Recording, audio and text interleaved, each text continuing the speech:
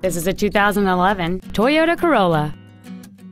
It features a 1.8-liter four-cylinder engine and a four-speed automatic transmission. Features include a low tire pressure indicator, traction control and stability control systems, cruise control, front multi-stage airbags, rear seat child-proof door locks, air conditioning, a pass-through rear seat, full power accessories, a rear window defroster, and satellite radio. Stop by today and test drive this vehicle for yourself.